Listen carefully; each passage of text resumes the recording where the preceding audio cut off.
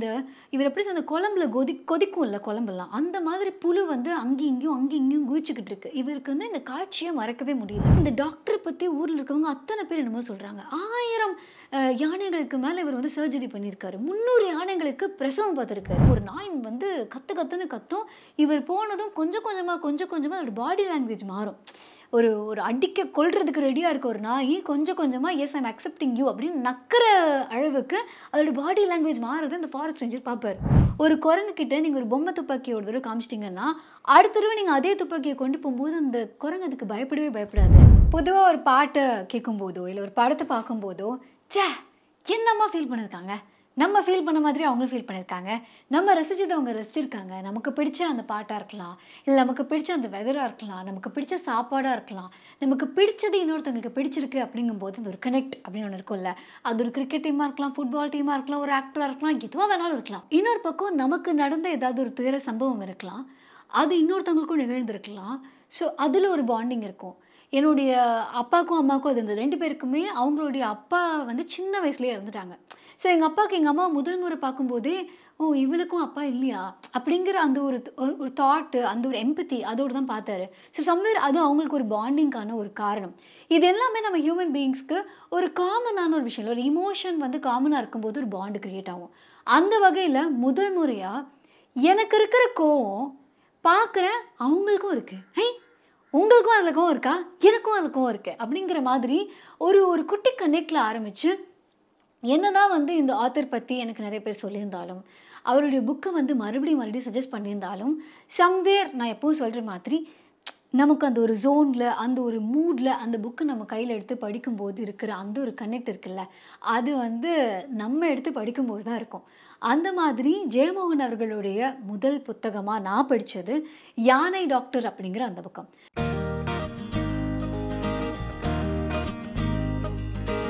இந்த புக்கை நான் முதல் முறையாக படித்தது வந்து கிண்டில் தான் படித்தேன் ஸோ ரீசெண்டாக வந்து ஒரு கிண்டில் நான் பண்ண ஒரு நல்ல விஷயம்னு நினைக்கிறேன் ஸோ இந்த கிண்டில் வந்து நான் வாங்கியிருந்தேன்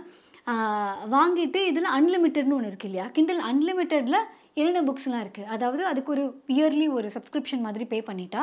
எத்தனை புக்ஸ் வேணாலும் அன்லிமிட்டடாக படிக்கலாம் அப்படி நான் படித்த முதல் ஜீரோ ருபீஸில் நான் படித்த புக்கு வந்து யானை டாக்டர் அப்படிங்கிற இந்த புக் ஸோ இதே மாதிரி நிறைய புத்தகங்களை நீங்கள் வாங்கி குவிக்க வேணாம் அப்படின்னு நினச்சிங்கன்னா ஏன்னா ஒருவேளை நீங்கள் ஒரு புக் ரிவ்யூவராக இல்லை அதை நிறைய இடத்துக்கு தூக்கிட்டு போகணும் இல்லை அதை காமிச்சு காமிச்சு தான் வந்து மக்களை புக்கு படிக்க வைக்கணும் அப்படிங்கிற ஒரு ஆர்வத்தை தூண்டுங்கிற அப்படி நிலமையில இல்லை அப்படின்னா நம்ம வீட்டில் நம்ம நமக்காக படிக்கிறதுக்கு நிறைய புக்ஸ் படிக்கிறதுக்கு கிண்டிலுங்கிறது ஒரு சமையான ஆப்ஷன் சப்போஸ் இந்த வீடியோ நீங்கள் இருக்க உங்களுக்கு நீங்கள் கிண்டில் வின் பண்ணணும் அப்படின்னா இந்த வீடியோவை தொடர்ந்து பாருங்கள் நடுவில் நான் ஒரு கேள்வி கேட்பேன் அதுக்கான சரியான பதில் சொன்னீங்கன்னா இதில் ஒரு நபருக்கு ஒரு கிண்டு the book show and offices IS academy நாங்கள் ரெண்டு பேரும் சேர்ந்து உங்களுக்கு கொடுக்க போகிறோம் ஸோ அந்த கேள்வி அப்புறமா வரும் அதுக்கு முன்னாடி யானை டாக்டர்லேயே என்ன வரும் கதையோட ஓப்பனிங்லேயே வந்து ஒரு ஃபாரஸ்ட் ரேஞ்சர் ஓகேவா ஸோ அவர் வந்து காட்டுக்குள்ளே போகிறாரு அந்த காட்டில் அவருக்கு நிர்வாகம் வந்து அந்த காட்டுக்குள்ளே அவர் வந்து கொடுத்துருக்காங்க ஸோ அங்கே போகிறாரு அங்கே போகும்போதே வந்து ஒரு ஒரு நபரை பற்றி கேள்விப்படுறாரு ஒரு டாக்டரை பற்றி அந்த டாக்டரை வந்து யானை டாக்டர் அப்படின்னு தான் சொல்கிறாங்க ஆனால் ஊர் மக்கள் அவங்களுக்கு ஏதாவது உபாதை அப்படின்னாலும் அதே டாக்டர்கிட்ட தான் போகிறாங்க டாக்டர் வந்து அவங்களுக்கும் ஏதாவது ஒரு மருந்தெல்லாம் கொடுக்குறாங்க இவருக்கு என்னென்னா முதல் முறையாக இவர் சந்திக்கிற தருணமே ரொம்ப வித்தியாசமாக இருக்குது ஒரு பெரிய ஒரு கருகரு கருகருன்னு ஏதோ ஒன்று ஒன்று இருக்குது அதுக்கு மேலே என்னமோ இருக்குது அந்த இடத்துல வந்து போய் நின்னாலே பயங்கரமாக நாறுது அந்த இடத்துல ஒரு வயதானவர் அவர் தான் அந்த யானை டாக்டர் அவர் அங்கே நின்று அங்கே ஏதோ ஒன்று பண்ணிகிட்ருக்காரு அந்த இடத்துக்கு போகிறதுக்கே இவனால் முடியல அங்கே எல்லாருமே என்ன பண்ணியிருந்தாங்க கர்ச்சிஃபில் அது ஏதோ ஒரு கெமிக்கல் சொல்லியிருந்தாங்க அந்த கெமிக்கலை மூக்கில் வச்சுக்கிட்டே தான் அவங்க வேலை பார்க்குறாங்க ஸோ தட் அந்த ஸ்மெல்லு வந்து இவங்களை பாதிக்காமல் இருக்கணும்னு சொல்லிட்டு பட் அதை தாண்டி அந்த ஸ்மெல்லு வந்து இவர் ஒரு மாறு ஒன்று பண்ணுது அதை தாண்டி அவர் அந்த டாக்டர் இருக்கார்ல அவர் நிற்கிற இடத்துல அவர் காலிலெல்லாம் புழு புழுவாக ஏறி இருக்கு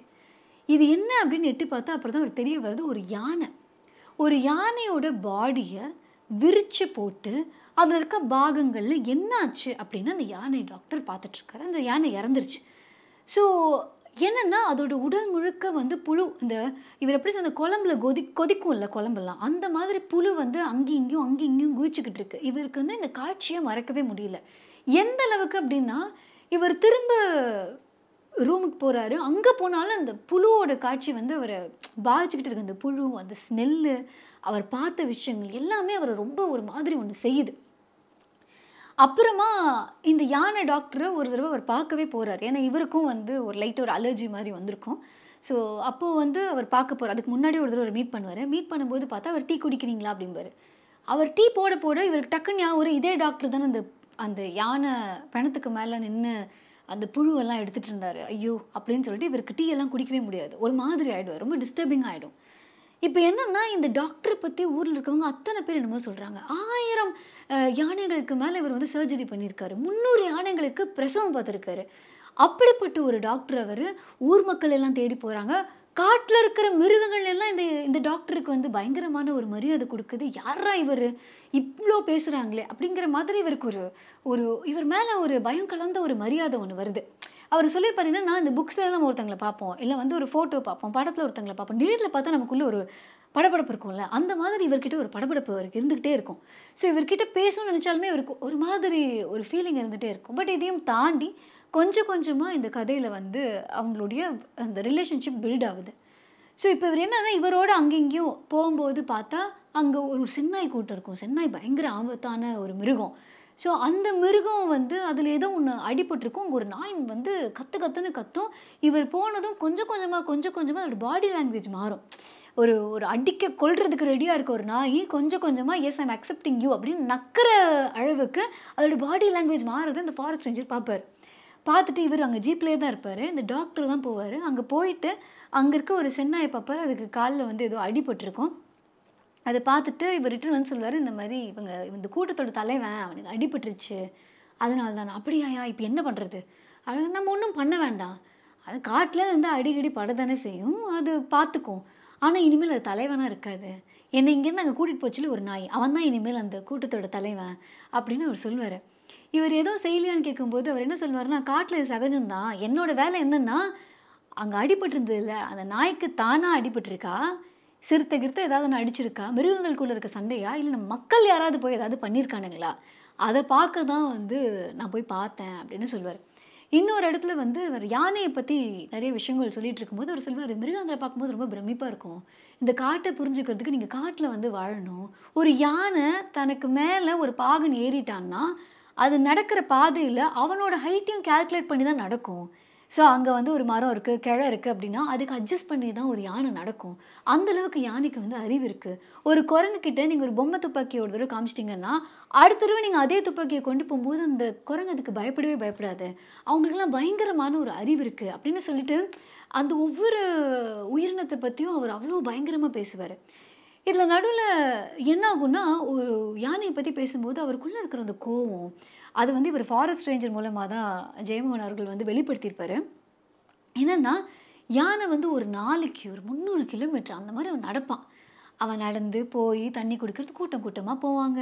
அப்புறம் வந்து சாப்பாடு கிளையை உடச்சி சாப்பிட்றதுன்னு இந்த மாதிரிலாம் பண்ணுவாங்க யானையோட பாடி லாங்குவேஜ் என்ன எப்போ அது வந்து சண்டைக்கு வருது இந்த காது வச்சது என்ன பண்ணுது அந்த மாதிரிலாம் சொல்லிகிட்டே இருக்கும்போது என்ன சொல்வார் நம்ம பசங்கள்லாம் இந்த காட்டுக்கு வந்து ஒரு ட்ரிப்பு வரேன்னு சொல்லிட்டு வரும்போது சரக்குலாம் அடிச்சுட்டு பாட்டெலாம் போட்டு வருவாங்க நடுவில் ஏதாவது மிருகம் வந்துச்சுன்னா ஆண் அடித்து அதை பயன்படுத்தி விட்டுருவாங்க இது எல்லாத்தையும் தாண்டி பியர் பாட்டிலெலாம் குடிச்சிட்டு தூக்கி அப்படியே வீசிடுவாங்க அது உடஞ்சு அங்கங்கே கிடக்கும் யானையோட பாதம் இருக்குல்ல அது ரொம்ப ரொம்ப ரொம்ப சாஃப்டானது அதில் இந்த பீர் பாட்டில் உடஞ்சிருக்கு இல்லையா அது ஏன்னா நாங்கள் தூக்கி போடும்போது அங்கங்கே இடிச்சு இடித்து போய் உடஞ்சி விழுந்திருக்கும் அது வந்து அந்த காலில் ஏறிடுச்சு அப்படின்னா யானையோட வெயிட்டுக்கு அது இன்னும் நல்லா உள்ளே போயிடும் ஸோ அது உள்ளே போனதுக்கப்புறம் கொஞ்சம் கொஞ்சமாக அந்த இடத்துல வந்து சீல் வைக்கும் புண்ணாகும் அதிகமாக புழு வர ஆரம்பிக்கும் இதெல்லாம் நடக்க நடக்கணும் ஒரு பாயிண்டில் அந்த யானைனால நடக்கவே முடியாது அந்த யானை என்ன பண்ணுமா ஒரு இடத்துல அப்படியே நின்றுமா நின்றுட்டு கொஞ்சம் கொஞ்சமாக அதோட பாடி அப்படியே முன்னாடி சாஞ்சு சாஞ்சு சாஞ்சு சாஞ்சு அங்கேயே நின்றுமா ஒரு நாளைக்கு இவ்வளோ தூரம் ட்ராவல் பண்ணுற யானை எங்கேயுமே ட்ராவல் பண்ண முடியாமல் ஒரே இடத்துலேயே நின்று சாப்பிடவும் முடியாமல் அந்த உள்ளே ஃபுல்லாக சீல் பிடிச்சி அந்த யானை அங்கேயே செத்து போயிடும் அந்த யானை அங்கே கடைசியாக சாகிற வரைக்கும் கூட்டம் கூட்டமாக அதோட யானை கூட்டம் அங்கேயே நிற்கும் அவ்வளோ கொடூரமான ஒரு விஷயம் அது ஆனால் ஜஸ்ட் லைக் தட் இப்படி பாட்டில் தூக்கி போட்டு போயிடுறாங்கன்னே அந்த ஃபாரஸ்ட் ரேஞ்சருக்கு தோணும் இந்த மாதிரி தூக்கி போடணும் அவனெலாம் போட்டு சாத்தணுங்க அவனெலாம் போட்டு அடிக்கணுங்க அப்படிங்கிற மாதிரி அவருக்குள்ளே ஒரு கோவம் வரும் ஏன்னா படிக்கிற நமக்கும் அதே கோவம் தான் வரும் யாரும் மேலே இல்லை நம்மளை மேலே தான் நமக்கும் அந்த கோவம் வரும்னு வச்சுக்கோங்க ஸோ இந்த மாதிரி அவர் அந்த யானையை பற்றி பேசிட்டு போது ஒரு சொல்வார் ஆனால் இவ்வளோ வலி இருக்கு இல்லைங்க இவ்வளோ வலிச்சாலும் யானை பெருசாக கத்தவே கத்தாது இப்போ இவருக்கு என்ன இருக்குன்னா நடுவில் வந்து ஒரு செந்தட்டி இருக்கும் அது செடி அது வந்து உரசி இருக்கும் இவருக்கு ஒரு அலர்ஜி மாதிரி வந்திருக்கு இதனால் மருந்துக்க வந்திருப்பார் அப்போ அந்த யானை டாக்டர் என்ன சொல்லுவார் என்னாச்சுன்னா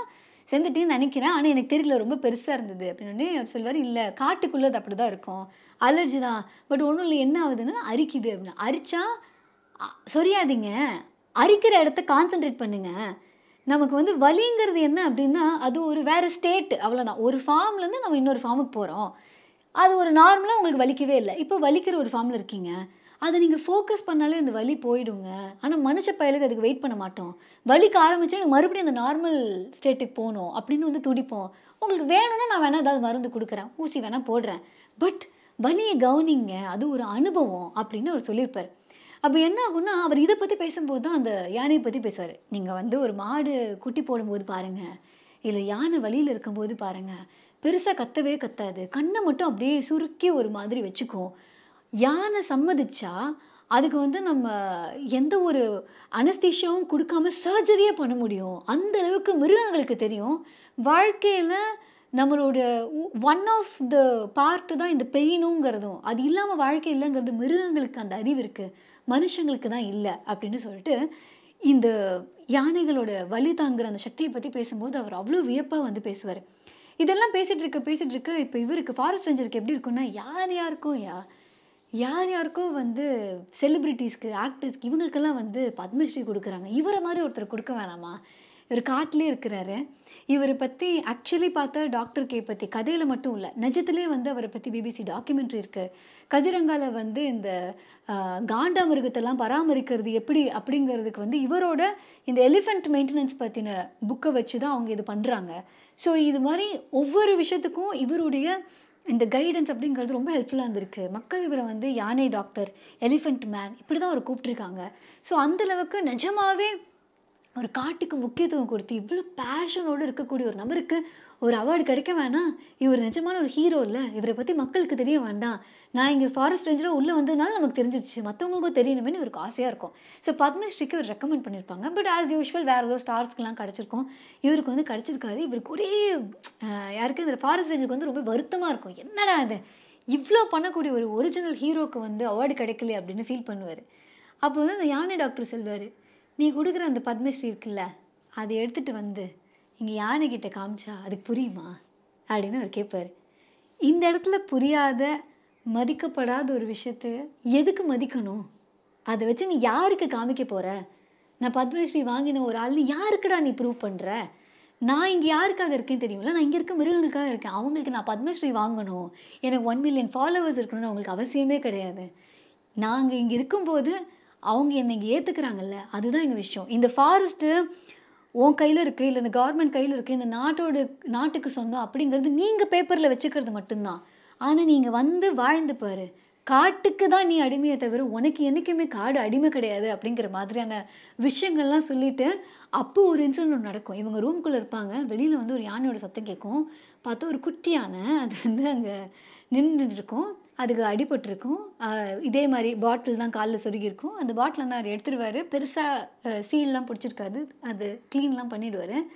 பண்ணதுக்கப்புறம் இவருக்கு தோணும் இந்த இடத்துல இவன் ஒருத்தன் மட்டும் இல்லைடா தனியாக வந்திருக்க மாட்டான் குட்டியான அவன் வந்து குரூப்போடு தான் வந்திருக்கணும் அப்படின்னு இப்போ தான் இருட்டாக இருக்கும் ஓகேவா ஒரு பாயிண்டில் இவங்க எல்லாம் இந்த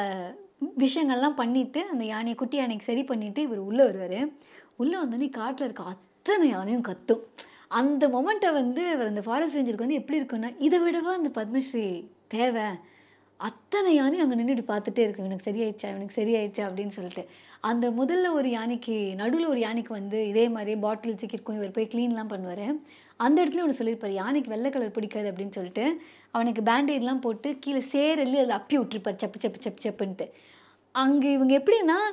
இப்போ அந்த மிருகத்தை போய் ட்ரீட் பண்ணுறதுக்குமே அந்த மிருகத்தோட பெர்மிஷன் இவங்களுக்கு வேணும் அந்த மிருகத்தோட பெர்மிஷன் மட்டும் இல்லை அவனுக்குன்னு ஒரு கேங் இருப்பான்ல அவன் எல்லாரும் பார்த்தே இருப்பான் என்னடா யாரா நீங்கள் எதுக்குடா இங்கே வந்திருக்கீங்க ஏன்னா நடுவில் இந்த ஃபாரஸ்ட் வந்திருக்கே பாரு ஏன் சார் இந்த பீர் பாட்டில் குத்தி இந்த யானைக்கெலாம் இப்படி ஆகுது இல்லை சார் இதுக்கு காரணம் மனுஷங்க தான் யானைக்கு தெரியுமா சார் அப்படின்னு கேட்பார் அவர் நல்லா தெரியும் அப்படிம்பார் சொன்னதுக்கப்புறம் இவர் சொல்வார் என் முதுகு என் முதுகில் அத்தனை யானையுடைய கண் இருக்குங்க எனக்கு தெரியுது ஏன்னா அந்த ஒரு யானைக்கு அந்த சர்ஜரி பண்ணிகிட்ருப்பாங்க ஸோ இந்த மாதிரி காட்டில் வாழக்கூடிய ஒரு மொமெண்ட்ஸ் அதை ஃபுல்லாக வந்து ரீக்ரியேட் பண்ணிவிட்டு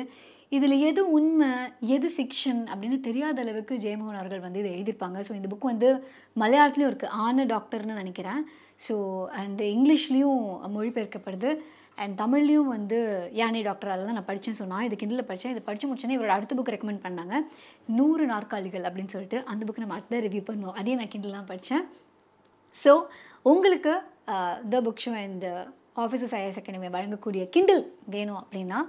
அதுக்கு நீங்கள் என்ன பண்ணும் அப்படின்னா என்ன கேள்வி கேட்கலாம் இதில் டாக்டர் கே அப்படின்னு ஒருத்தர் வந்தார் இல்லையா ஏன்னா அவரை பற்றி தான் இந்த புத்தகமும் அவருடைய பேஷனை பற்றி தான் அது இந்த மாதிரியான ரோல் மாடல்ஸ் நிஜமாகவே நம்ம லைஃப்பில் வேணும் எல்லாருக்கும் வந்து சின்ன வயசில் இன்ஜினியர் ஆகணும் டாக்டர் ஆகணும் போய் இப்போ எல்லாருக்கும் யூடியூபர் ஆகணும்னு ஆயிடுச்சு ஸோ அது இல்லாமல் இந்த மாதிரி to give back to the forest to give back to இந்த பீப்புள் அரவுண்டர்ஸ் அதுக்கு வந்து நிறைய ரோல் மாடல் தேவைப்படுறாங்க அப்படிப்பட்ட ரோல் மாடல் தான் டாக்டர் கேவும் அன்ஃபார்ச்சுனேட்லி அவர் இப்போது நம்மளோட இல்லை பட் அவருடைய முழு பெயர் என்ன யானை டாக்டர் அப்படின்னு நம்ம ஆசையாக அங்கே இருந்தவங்க எல்லாருமே செல்லமாக கூப்பிட்ருக்காங்க மசனகுடியில் தான் அவர் இருந்திருக்காரு ஸோ அப்படி தான் அவங்களை கூப்பிட்ருக்காங்க அவருடைய ஒரிஜினல் பேர் என்ன அப்படிங்கிற இந்த கேள்வி தான் உங்களுக்கான என்ட்ரி கொஸ்டின் ஸோ கீழே இருக்கிற லிங்க்கில் வந்து ஒரு டாக்குமெண்ட் இருக்கும் அந்த டாக்குமெண்ட்டில் இதே மாதிரி ஒரு அஞ்சு அஞ்சு கேள்விகள் தான் இருக்கும் அதுக்கு நீங்கள் ஆன்சர் பண்ணிங்க அப்படின்னா ஆஃபீஸஸ் ஐஎஸ் அகாடமி அந்த புக் ஷோ வழங்கக்கூடிய அந்த கிண்டில் நீங்கள் வின் பண்ணலாம்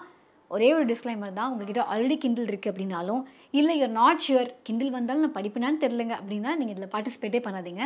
யாராவது படிக்கிறவங்களுக்கு அந்த கிண்டில் போய் சேரட்டும் இந்த வீடியோ உங்களுக்கு பிடிச்சிருந்தா லைக் பண்ணுங்கள் கமெண்ட் பண்ணுங்கள் ஷேர் பண்ணுங்கள் மறக்காமல் த புக் ஷோக்கு சப்ஸ்கிரைப் பண்ணுங்கள் த புக் ஷோ டாட் இனில் இதே மாதிரி நிறைய புக்ஸை வந்து நம்ம ரிவ்யூ பண்ணியிருக்கோம் பல ஜானர்ஸில் ஸோ அதை நீங்கள் எக்ஸ்ப்ளோர் பண்ணலாம் ப்ளஸ் எங்களுக்கு சஜஸ்ட் பண்ணணும் அப்படின்னாலும் த புக் ஷோ டாட் இனை விசிட் பண்ணுங்கள் இவ்வளோ நான் பேசின விஷயங்கள்லாம் கேட்டால் மட்டும் போதும் அப்படின்னு நினச்சிங்கன்னா